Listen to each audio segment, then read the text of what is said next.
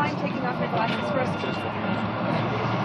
and uh, I came here because I'm, on fire tired of Wells Fargo uh, giving me dual tracking.